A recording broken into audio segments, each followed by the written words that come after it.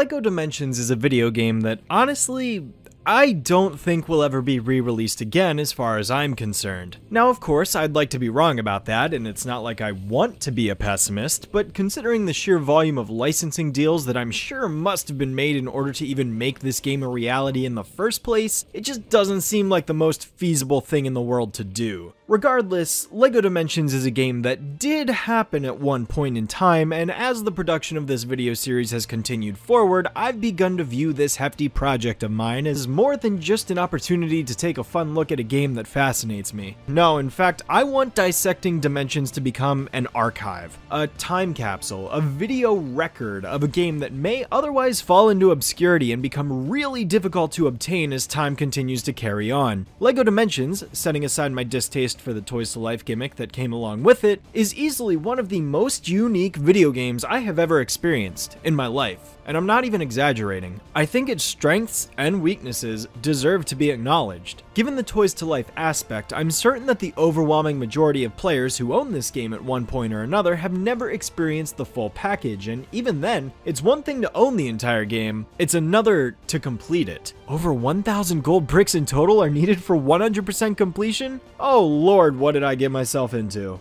Now that we are living in current year, the fact of the matter is that the ability to 100% LEGO Dimensions has become more difficult and potentially even expensive than it originally was at retail price, especially since the support for LEGO Dimensions was completely ceased following the release of Wave 9 in 2017. Unless, of course, you have access to a phone or other electronic device that is capable of writing data to NFC stickers and are wise enough to figure out how to obtain the LEGO Dimensions Toy Tag app to write character and vehicle data to said stickers. I, of course, did manage to figure out how to do this for this video series and will be using them for vehicles and gadgets accordingly. However, I still went out of my way to acquire every single character's toy tag for the purposes of showing them off over the course of the series. Yes, every single one of them, even Green Arrow, Gamer Kid, Raven, Sonic, Finn, and Supergirl. That is how dedicated I am to this project. This tiny piece of plastic cost way more than it should have. I did not bother to purchase every single minifigure alongside the tags, however, seeing as that would have forced me to spend several hundred dollars more for all of them, and based on the community poll I did on my channel a while back, it seems the overwhelming majority of my audience at the time said that they would prefer I save my money rather than showing off the minifigures because it was completely unnecessary to them. Which is fair, given that this isn't a LEGO specific channel or anything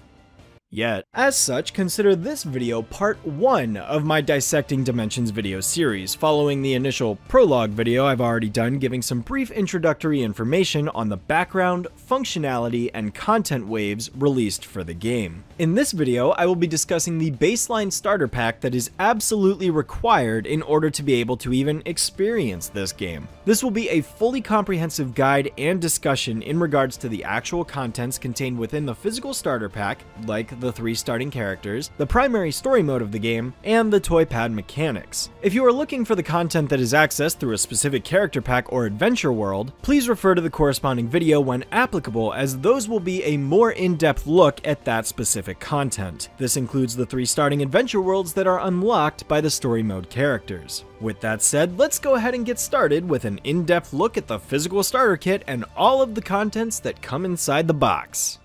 Alrighty, so getting into the LEGO Dimensions starter kit. Um, as I mentioned in my initial introduction video, I ended up getting the Wii U starter kit for uh, this game because it was substantially cheaper than the PS4 starter kit, and then I just bought the used PS4 disc at GameStop for like five bucks. So this is the Wii U starter kit, but it's the same for all starter kits, everything that comes along. Um, with this one is included in all of them. There were some special edition starter kits released, one of which included Supergirl, which was exclusive to the PS4. I know there were a couple other regional exclusive starter kits, maybe in other countries and things like that, but for the purposes of this video, I'm just going to be going over the base starter kit for all of this. So without further delay, let's just get right into this. Oh, and before I get into that, this is what the back of the box looks like in case anybody was interested in that. Okay, so going over what is included in the initial starter kits. Uh, the starter kit comes with a variety of things. Now, because I ended up making a video on LEGO Dimensions a long time ago, Um, I already went ahead and built the actual toy pad, so I can't unfortunately show off the pieces in the box or do some kind of like time lapse me building the portal base, that type of thing. So I do apologize there. I already have it completely built, but that's besides the point. So the starter kit comes with a few different things in it. First of which being this LEGO Dimensions box, which contains all of the pieces um, for the toy pad portal, as well as the main characters being Batman, Gandalf, and Wyldstyle. Um, this is the back of the box, in case anyone was curious, showing off all of the level packs, team packs, and fun packs that were planned for the first year of content of LEGO Dimensions, waves 1 through 5, which I'll be going over in future videos. Um, alongside that, there were also and I apologize for my audio quality. I'm going off of my phones because it was just too complicated to hook up my microphone and sync this and all that, so apologies there, but I'm sure you'll be fine with it. So alongside the uh, actual pieces and the toy pad, which I'll be showing off in a second, um, it also came with this instruction booklet, which just basically shows you how to build, well, how to use the toy pad, place the character on the thing, you know, yada yada yada, and then this is the instruction booklet telling you how to build each character. These are also digitally included in the game LEGO Dimensions itself, so you are able to access this on your TV screen if you were doing it that way. If you ended up losing this booklet or you bought a toy pad secondhand and didn't have one of these, you know, no big deal. You can still build it, and it's very good that they included that. And then, of course, last but not least, uh, they also included something really cool, if I can get this unfolded. I don't even know if I'm going to fit this entire thing on the camera frame, but it also came with, if I can get this unfolded, this poster. Yeah, that whole thing might not fit on frame, but you know, you get the gist. This poster showing off all of the different properties that are represented in year one specifically. Um, that's actually the Spanish side, apologies. This is the English side of the poster. It just shows like DC Comics, Lego Movie, Lord of the Rings, Wizard of Oz, you know, all this stuff that I'm going to be going over in future videos. So, cool poster. May or may not hang it up somewhere, I have no idea, but, you know, cool nonetheless. Alright, so here is the toy pad, which is also included in the starter kit. Of course, you do have to build this base portal uh, by yourself after the fact, but like I said, I had already pre-built this for a previous video I made, so it's already done. Um, but basically, in order to play the game, you need to be able to use this toy pad to place the characters on the three different sections of this toy pad so that you can interact with the game, pick the characters you want to play as, and perform various puzzles. Um, this portal is also shown off in the actual game itself, so it's a really cool kind of way to tie the real world to the video game world by showing um, you placing the character on the portal, they go in the portal in the game, you know, yada yada yada. Here's kind of an aerial angle to see what the portal looks like in more detail. These are the five keystones, which are the first collectible in the game. You end up... Uh, I will end up going over this in the story mode section of the video, which has already actually been recorded before I'm doing this. So, yeah, those are... Actually, the game has you put them on the back here to start on these weird handle things, and then you, as you collect them in the game, you add them onto the sections of the toy pad. So that's actually kind of cool, um, but regardless, that's what the toy pad looks like. And then alongside that, uh, I should also mention, here's X-PO. This is like a Lego model of X-PO, so for what that's worth. Um, cool. Uh, and then alongside that comes the three starting characters and the starting vehicle, which are required for playing the base story mode in the game because the game literally will not let you go into the first level without placing all three of these characters on the toy pad. So, first up we have Batman himself right here. Yeah, there he is in all his uh, Gotham glory. Batman comes with the Batarang accessory, um, and yeah, I mean, he's pretty straightforward. He's Batman. So if the camera will focus, there you go. There's like an up close shot of the minifigure. Um, I don't have minifigures for all of these characters, unfortunately. Uh, but I will be showing off every single toy tag at the very least, so for what that's worth. Um, next up we have Gandalf the Grey. Gandalf is right here. Uh, there he is. His accessory obviously being his staff because, you know, Gandalf wouldn't be the same without it. So there's Gandalf, you know, pretty cool. Lord of the Rings rep.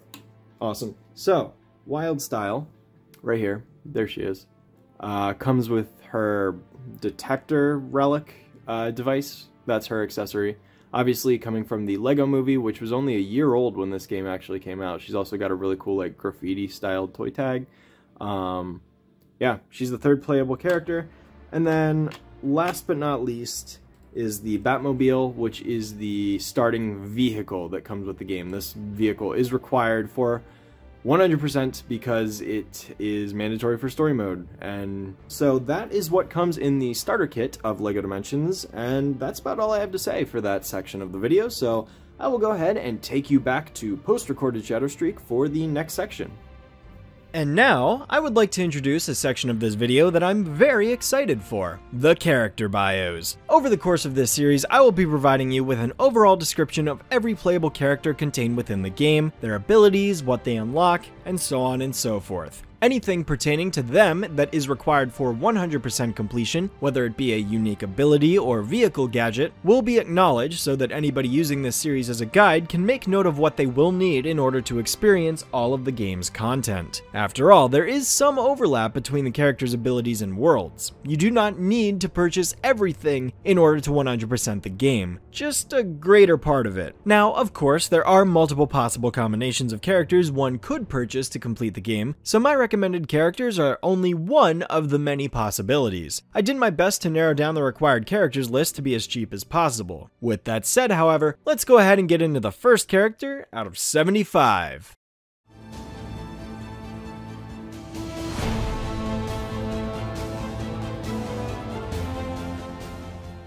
Alright, here he is, the Dark Knight himself. Batman, aka Bruce Wayne, is an extremely wealthy businessman by day and a masked vigilante protecting the streets of Gotham City by night. His origin basically started when his parents were killed in a back alley as a young boy, and since then he grew into the martial arts master detective that he is in the present day. Initially created in 1939 by Bill Finger and Bob Kane, Batman's first appearance was made in Detective Comics issue number 27 and rapidly rose to popularity as he earned his very first solo title just one year later in 1940. Since then, Batman has become one of, if not the biggest name DC Comics owns over the decades, and has been the focal point of dozens of comic runs, video games, TV shows, merchandise, films, action figures, Legos, and so much more. He's even the face of an entire trilogy of LEGO video games, not including his role in LEGO Dimensions as one of the starring characters. The cherry on top of all of this is that he's even in the center of the Dimensions cover art and is most likely the first thing your eyes are going to be drawn to when you look at the box. Needless to say, Bruce Wayne lives up to his billionaire status. Despite all of this, within LEGO Dimensions itself, Batman is surprisingly limited in terms of his character's abilities, far more than any of the other LEGO video games he's appeared in. He can grapple to pull various objects and structures down or towards him, he can use his batarangs to activate switches and as combat projectiles, and he can go into stealth in context-sensitive areas.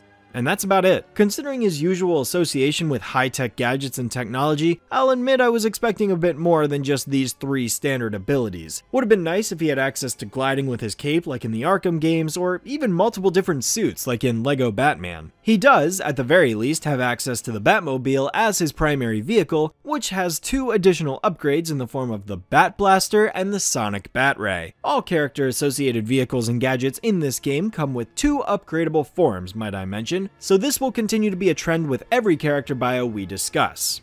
Well, Almost everyone. Between these three modes, the vehicles are able to drop mines, create an electric shield, and fire projectiles. Batman also automatically provides the player with access to the DC Comics adventure world, and given that he is a mandatory story mode character, is logically required in order to 100% the game. Overall, he's a relatively fun character to play as, albeit a bit basic. I enjoy being him the most in story mode because he's pretty cleverly written, voiced by the well-experienced Troy Baker, and, well, because he's Batman. I mean, come on, who doesn't like Batman?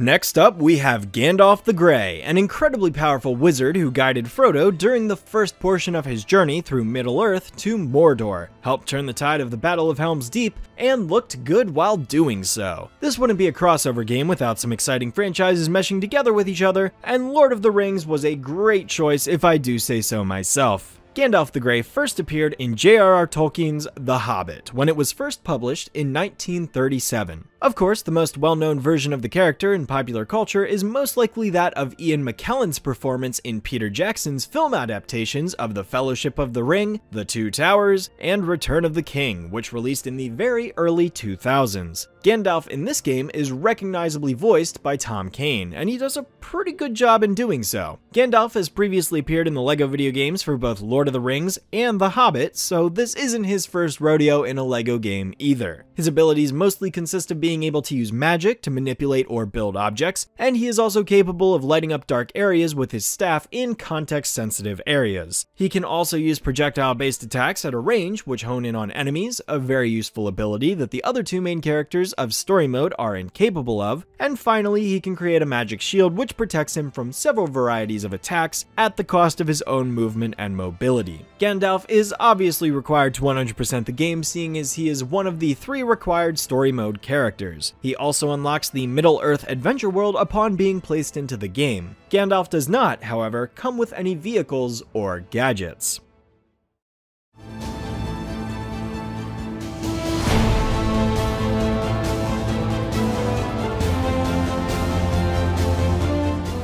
And here we have the final member of the story mode trifecta, Wyldstyle. Unlike her other two counterparts who come from the first half of the 20th century, Wyldstyle is very much a 21st century representative and one of the best master builders in the game. She made her very first, and at the time of the game's initial release, only appearance in popular culture as one of the main cast members of 2014's The Lego Movie, directed by Phil Lord and Chris Miller and technically the LEGO Movie video game as well. Wyldstyle is a very no-nonsense kind of character who's agile and strong. Plus, she was dating her universe's version of Batman at one point. In LEGO Dimensions, Elizabeth Banks reprises her role as the character from the film. Wyldstyle is very much a physical fighter, mostly relying on punches and kicks to take down enemies in close combat. She does not have the range advantages that Batman and Gandalf do, however she makes up for this with her acrobatics capabilities. She comes equipped with the ability to double jump, wall jump, swing around beams, and pull down specially marked levers that are too high to reach for most other characters. She also also has the relic detection and master builder abilities, which allow her to find hidden items located around the map and build specially marked objects and items that most regular characters cannot. This is done simply by placing Wyldstyle on all three sections of the toy pad in the corresponding order, which adds an extra level of interactivity to these moments in the game.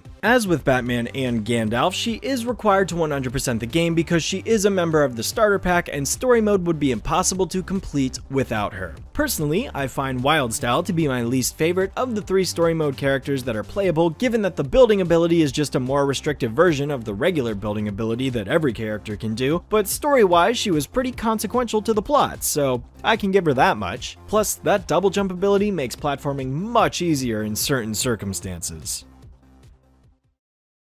So with a singular game as gargantuan as LEGO Dimensions, what is the story actually about? Well, as far as the game is concerned, the primary story mode consists of 15 levels, each of which takes place in a different dimension containing one of the various IPs that are featured within the Year 1 content of the game. Unfortunately, none of the Year 2 content has any attachment to story mode, so don't expect anyone like Sonic the Hedgehog or the Teen Titans to show up here.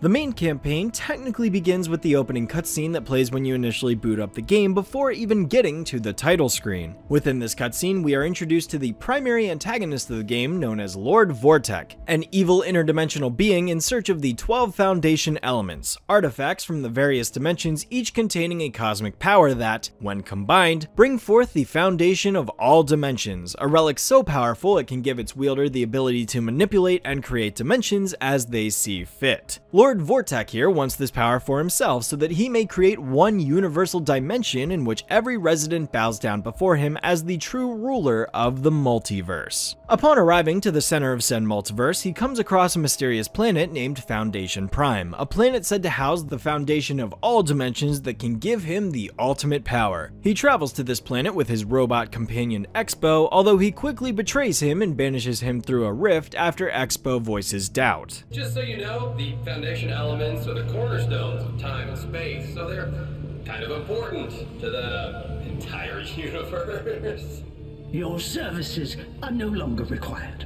But the elements can't be safely harnessed. It's too dangerous. And what about the pay raise you promised me?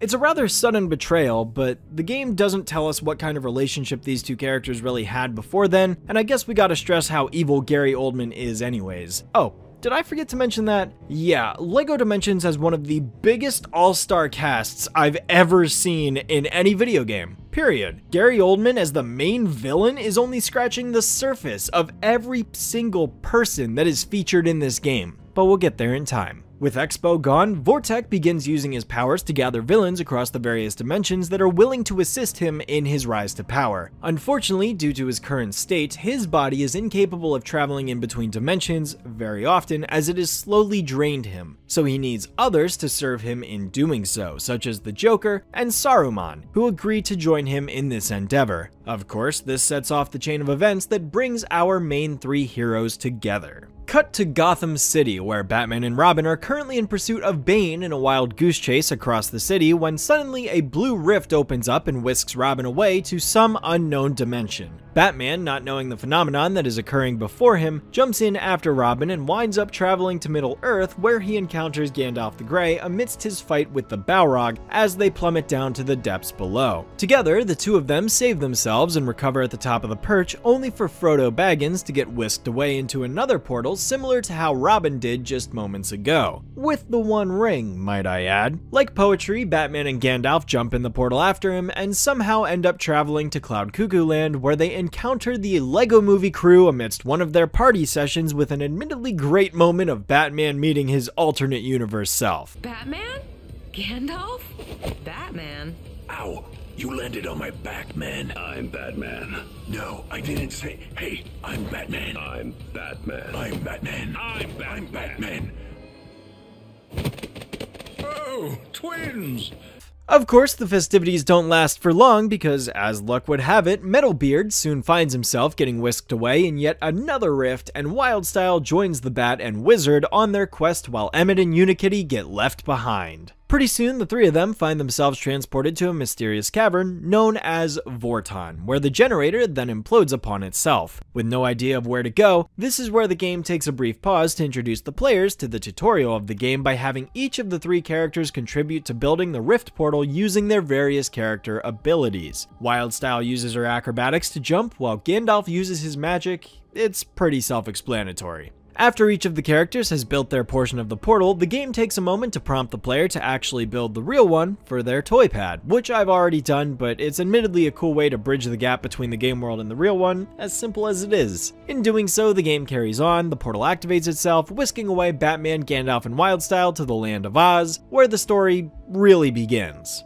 The actual plot can basically be broken down into three different arcs the Keystone Arc, the Elements Arc, and the Vortech Arc. These are unofficial names that I coined myself based upon my own experience, however, the game doesn't outright label these as such, but it's the easiest way I can break down this game's plot for the purposes of this discussion. The Keystone Arc begins after Batman and friends witness this mysterious purple keystone get sucked into the portal that they jump in after, bringing them to the Land of Oz, where the Wicked Witch of the West proceeds to steal it for herself, provoking the three of them to give chase after her and ultimately defeat her to get the keystone back. The next few levels then feature a similar process as the trio travels to the Simpsons, Ninjago, Doctor Who, and DC Comics worlds in order to obtain all of the keystones that give them the various abilities used throughout the game. After getting all five keystones, the characters encounter Vortech himself in Hill Valley and have a bus battle with him before he gets away. Returning to Vorton where they are able to rebuild his former buddy X-PO, who then informs them of Vortech's evil plan and suggests that they gather the remaining foundation elements that he is seeking before he does. This opens up the second arc of the game where the trio travel to Aperture Science, Middle Earth, the Phantom Zone, Midway Arcade, and a mysterious Scooby-Doo mansion to gather as many elements as possible while Vortech continues to plot his attack on the heroes. After acquiring the final foundation element, Batman, Gandalf, and Wyldstyle travel to Foundation Prime in order to take Vortech down once and for all. But unfortunately, he gets the better of them and manages to collect the 12 foundation elements and create the foundation of all dimensions, giving him immense power, which in turn allows him to convert Robin, Frodo, and Metalbeard into an entity known as the Tri, which Batman, Gandalf, and Wyldstyle then proceed to take down in the following level and rescue their friends after all this time. Personally, I think the Tri as a concept is kinda dumb considering it doesn't really correlate to the rest of the game's aesthetic. It's a little silly. truth be told. Plus, the name is also really lame. However, there is still work to be done, and thus the three of them travel back to the various worlds that they had already visited through the adventure and recruit characters like the Doctor, the Scooby Gang, the Ghostbusters, the Spaceship Defender, all of them, who proceed to help them take down Vortech in the final climactic battle. But of course, GLaDOS absolutely steals the show with her cutscene. I guess we'll be seeing a nicer side of her from now on. And that is because you are a fool. A fool with stupid hair. What? Hey! I am so glad they got Ellen McLain to reprise her role here. GLaDOS is such an incredible character. Together, they all team up and take on Vortech, and after a hard-fought battle, they manage to destroy the foundation of all dimensions, eliminate his power over the multiverse, and banish him inside a cross rift between dimensions forever, thus bringing the game to a close. And that's the plot of LEGO Dimensions in a nutshell. Apologies for skipping over most of the individual level subplots and featured franchises here. I'd considered dedicating time to each level in this video and getting into the nitty-gritty plot of each, but I decided that doing so would cause the video to feel disjointed, cluttered, bloated. There'd be too much going on. I'll be covering each franchise in their own separate videos and we'll be acknowledging more specific traits and references there, so if anything occurs during story mode that I believe to be really worth mentioning, I will acknowledge it in those respective videos instead. For now, the last thing I'll mention is that the credits for this game are absolutely genius. Thank you.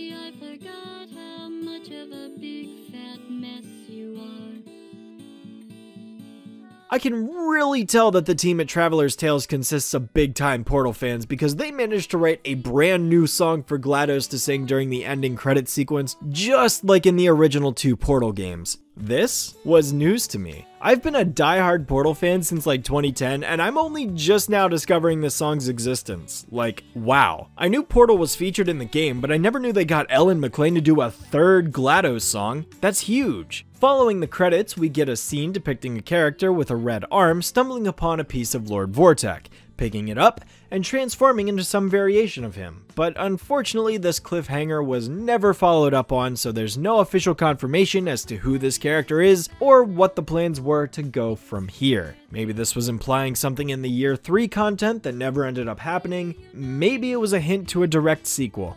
No idea. But yes, overall, I really enjoyed the plot of the game. It was a little monotonous at points in the middle of the first two arcs where it just felt like I was playing levels without much plot going on, but for the most part, I found the pacing to be pretty alright. Lord Vortech is a pretty enjoyable villain, and I liked X-PO a lot, so yeah, it was a good time. I felt like some of the levels might have gone on a little too long, but for the most part, each one introduced an interesting setup and had a cool boss fight to go along with it, so yeah, honestly, story mode is fun when you're not trying to get all of the 100% collectibles. So I guess that's a good segue into discussing how the game actually plays. Well, for starters, it's your basic Traveller's Tales LEGO game formula that anybody should easily be able to jump into. You go through each stage collecting studs which act as currency used to buy upgrades and abilities. There are mini kits to get into each stage like always which contribute to these cool statues in this particular game. There is a rule breaker status which is achieved by earning a specific amount of studs in each level, and a citizen in peril to collect who usually consists of a specific character to that franchise in an optional side area. At the end of each level, there's usually a boss fight, and upon defeating them, you win the level and progress on to the next one. If you've played a LEGO game before, you'll have no trouble swinging into this one, so rather than go over the redundancy of basic LEGO gameplay, I'll instead provide focus on the more specific elements of this game in particular and why it stands out so much when compared to other games. For starters, the way you experience the story mode wholeheartedly depends on what characters you have available to you. If you have a plethora of ones to choose from, then you'll have no problem getting to experience the side puzzles, citizens in peril, and other bonus content. Plus, you can use any character you want for as long as you want, acting as the free play mode of any other LEGO game. However, and maybe I'm wrong for making this assumption, but hey, most kids probably didn't own all of the characters the first time they played through the game, so they were stuck playing as Batman, Gandalf, and Wyldstyle, and maybe a couple of other characters for the entire duration of the story mode. Theoretically, a person should be able to play through the entire base game with just the starter pack, as advertised, which means all 14 levels had to be designed with the assumption that only 3 characters in one vehicle could be used to experience the entire story.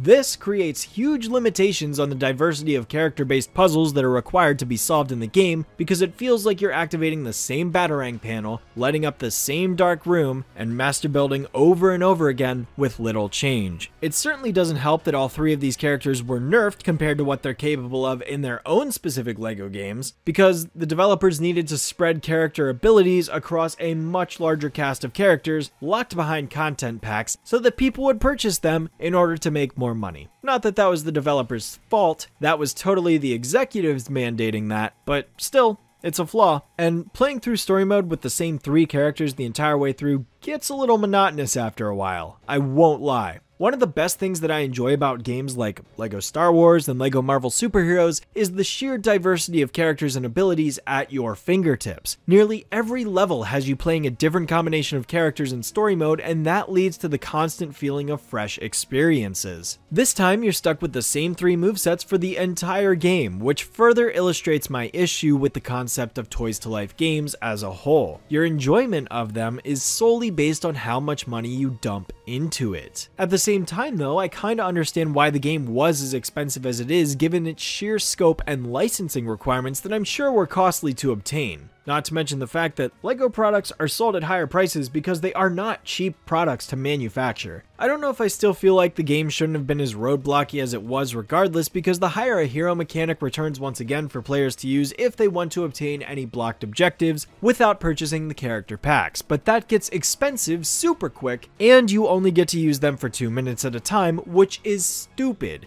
you should be able to purchase them once and then use them until you leave the room that you're currently in. On the opposite side of the spectrum, however, having access to any character you want in the story mode from the get-go absolutely breaks a lot of the levels because you can just pick a flying character like Superman or a Powerpuff Girl and then just fly past everything to get to the end of the stage as quickly as possible. None of the levels were designed for you to use a flying character throughout them, so when you encounter areas like this where you can just fly past everything on screen, it completely destroys any and all challenge. As far as accuracy goes, I think nearly every level does a fantastic job of representing its corresponding property, although certain levels feel like they had more put into them than others at points. For instance, the Doctor Who level really seems keen on making a bunch of references that I understand absolutely none of. But the DC Comics level doesn't really feel all that special coming from somebody more familiar with that franchise. I suppose this is justified with DC characters appearing in most of the other levels as bosses or the occasional helper character.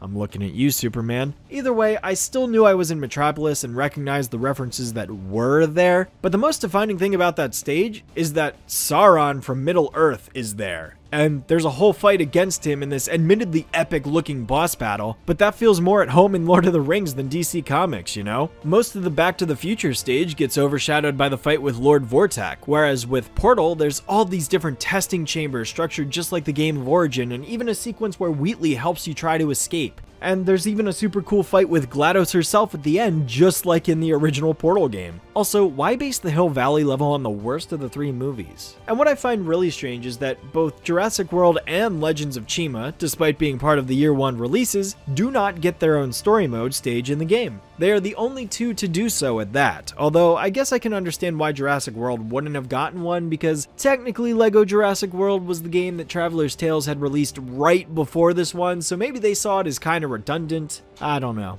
Truth be told, the boss fights are probably the best parts of the whole game considering most of them are treated more like puzzles rather than outright beat 'em ups. It's all about using the resources available to put the opponent into a weakened state before making a strike at them, whether that's the Riddler Balrog battle or the fight with General Zod. It's pretty fun trying to figure out how to take down Lord Business using the keystones and portals to navigate around the Springfield power plant.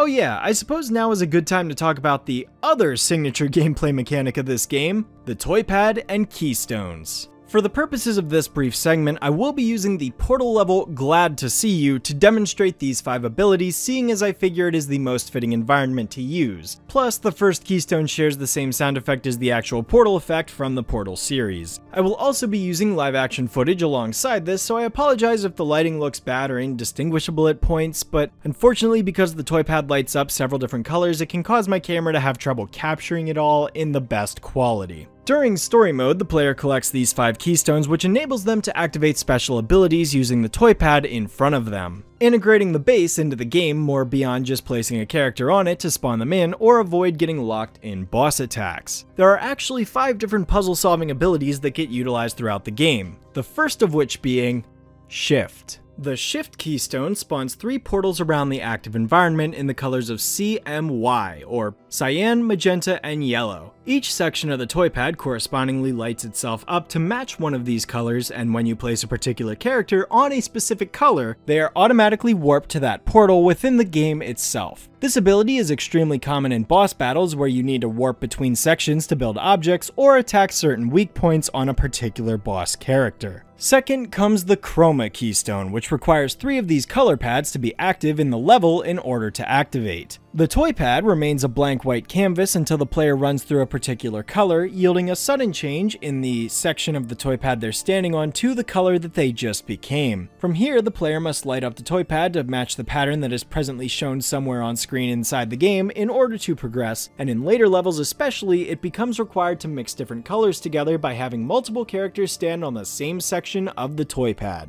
The third keystone is named Elemental, which grants the player 3 out of 4 possible elemental shields that they can use to resist damage of that type, and fire a beam of energy at opponents and objects from a far distance. Typically, the water and fire elements are always accessible, while the third element flip-flops between electricity and earth depending on the specific context. Fourth is the keystone Scale, which causes characters to grow or shrink in size depending on which side of the toy pad they are placed on. If a character is large, they move much more slowly but are incredibly strong, capable of picking up large objects. Small characters, on the other hand, are capable of climbing into small tubes which are usually used to activate switches, although they are occasionally missing segments that a larger character either needs to stand underneath of or throw a section into place that is resting on the ground somewhere. And the fifth and final keystone is named Locate, which is probably my least favorite of them all. Basically, the way it works is that there is a hidden item or rift somewhere in the nearby vicinity, and the toy pad glows greener the closer you get to it. The further away, the redder it gets. Sometimes I find this one a little annoying because it's a bit finicky on when you're actually at the perfect brightness to be close enough to activate the portal. The first time I ever had to use this ability, I ran around the stage for like 3 minutes avoiding these bosses' attacks just to figure out where the dang rift was hidden at. At the very least, you get a cool animation of something from a previous dimension you visited coming to assist you, but in terms of actual gameplay, it's the least interesting because you're running around as opposed to actually doing anything.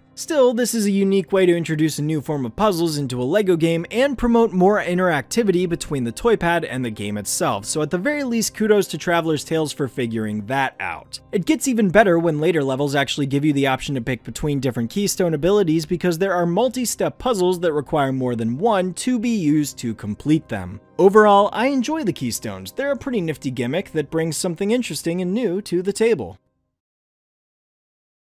And that just about sums up LEGO Dimensions Story Mode. All in all, I think it's a pleasant experience with tons of fun moments, entertaining boss fights, immersive levels that pay homage to the source material. It's fun. I still don't like the way the character selection was handled as I feel like playing with just the starter pack characters gets incredibly boring, but having access to all of the characters completely breaks a lot of it. Thankfully, every other LEGO game that I've played at the very least doesn't have this issue, so this seems to be a specific flaw of the design of Dimensions. Personally, I'm more excited to experience each individual adventure world than I was for the story mode anyways, so now the fun really begins. Be sure to tune into the next episode of Dissecting Dimensions where we take a look at the first of 30 adventure worlds. Detective Comics, here we come.